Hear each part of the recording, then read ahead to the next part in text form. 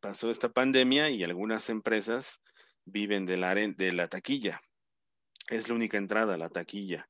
Y entonces al tener como única entrada la taquilla, que es lo que se perdió, pues se perdieron todos los ingresos.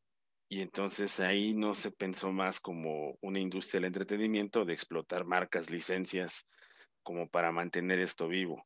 Están los derechos de transmisión, que actualmente se hacen transmisiones, pero eso no cubre todos los costos, ni, de una empresa grande. Eh, hace falta la taquilla.